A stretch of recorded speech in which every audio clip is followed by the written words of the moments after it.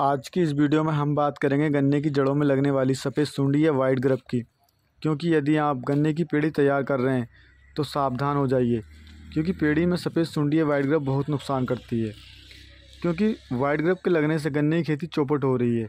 White group जो कि गन्ने की फ़सल को तबाह करने में लगा है, काफ़ी ज़्यादा सावधानियों के बावजूद कहीं ना कहीं सफ़ेद सुंडी का प्रकोप हर साल नज़र आ ही जाता है।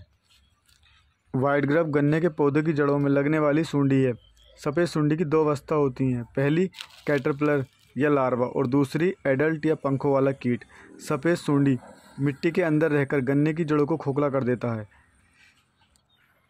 इससे फ़सल सूखने लगती है। सफ़ेद सुंडी के एडल्ट गर्मी में मिट्टी के अंदर छिपे होते हैं।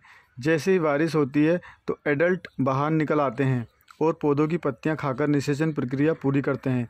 इसके बाद फिर से ज़मीन के अंदर घुसकर अंडे देते हैं। अंडों से लार्वा निकलता है।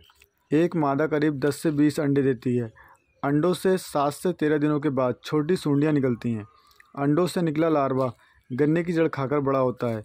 सफ़ेद सूंडी द्वारा जड़ को काट देने से पूरा पौधा पीला पड़कर सूखने लगता है। ऐसे सूंडी लगे पौधे मिट्टी में से आसानी से उखड़ जाते हैं। सफ़ेद सूंडी द्वारा गन्ने की जड़ों को खाने के कारण गन्ने की पत्तियाँ पीली पड़कर सूखने लगती हैं। खेत में जगह जगह सूखे पौधे नज़र आने लगते हैं। एक बात का आप हमेशा ध्यान रखना। खेत में कच्चा खाद डालने से सफ़ेद सूंडी का प्रकोप अधिक होता है। और अब बात करते हैं, सफ़ेद सूंडी या वाइट ग्रप को कंट्रोल कैसे करें?